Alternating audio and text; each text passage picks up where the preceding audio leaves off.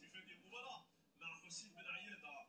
الدولي الجزائري في دفاع عن الوداد الرياضي حسين بن عياده يلعب كرته لرضا الجعدي استقرار الاداء رضا في المباريات الاخيره بخلي دائما رسمي كره مبعده من دفاع عن المدير وجديه تتحول اول ضربه زاويه في المباراه للوداد الرياضي الذي ينقل الخطر لمرمى الحارس مهدي مفتاح واحد من الحراس